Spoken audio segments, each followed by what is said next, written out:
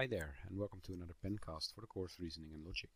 This one is about the cardinality of sets, and proving that two sets have the same cardinality, in other words, the same size. For this video, we will consider the following two sets. The sets E, which contains all the even numbers, so all x that are divisible by 2, and all the set F, which contains all numbers that are multiples of 42. In other words, x can be written as 42 times some other integer. Now my claim is, unlikely as it may seem, that these two sets have the same size, the same cardinality. Now the question is, how do we prove that? Well, for that we're going to use a function. And might as well call this function g, that maps our elements from the set E to elements from the set F. Now let's have g of x be 21 times x. And let's take a look at what happens.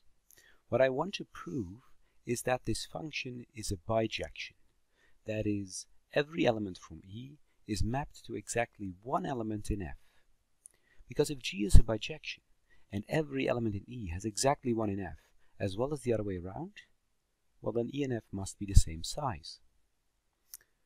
So how do we do that? Well, if G is a bijection, then it must be both injective and surjective.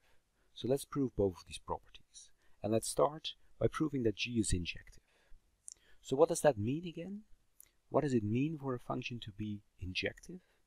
Well, it means that for all a and b, if GA equals GB, then A must be equal to B. In other words, every point from E is mapped to a unique point of F. So how do we prove that? Well, we take arbitrary A and B from the set E such that G of A equals G of B. What does that mean? Well, if we take a look at our function, it means that 21a must be equal to 21b. In other words, if we divide both sides by 21, then we must conclude that A equals B. Perhaps this proof looks, looks relatively simple, but this is all we need to show to show that the function g is injective. Now what about surjectivity?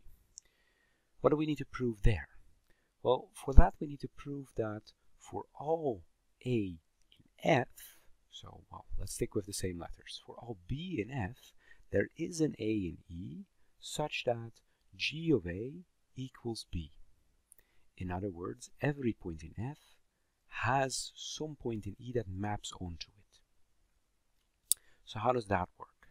Well, again, we take an arbitrary b, and now we need to show that there is an a in e that maps to this point b. Well, if b is in f, then we know that we can write b as 42 times some number. This is our definition of f after all. It is all numbers divisible by 42. And if b is 42 times m, then it's 21 times 2 times m.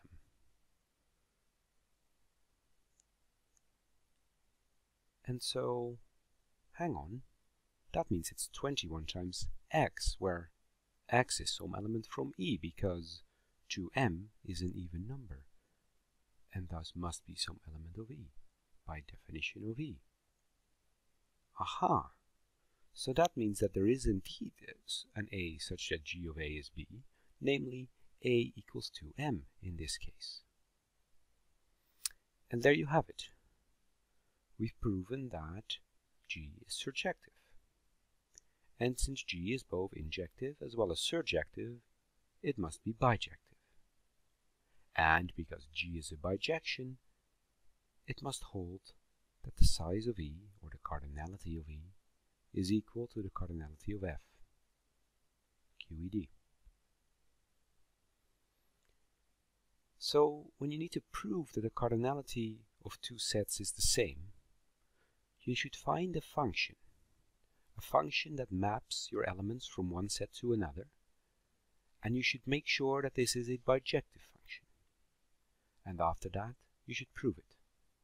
You should prove that your function is a bijection. Now something for you to think about. Imagine that we want to prove that one set is smaller than another set. Could we also use a function for that? And if so, what kind of function should it be? Who knows? Perhaps the answer might pop up in another pencast, or maybe it will not. Regardless, I'll see you around for another one.